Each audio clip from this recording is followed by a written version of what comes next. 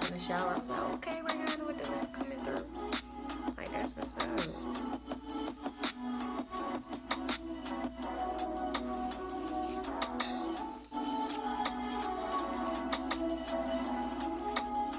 guys can see, shiny.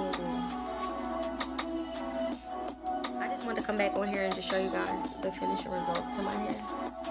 If you do want to try this product out, I definitely would say go ahead and try it out. I definitely recommend it. Hope you guys enjoyed this video.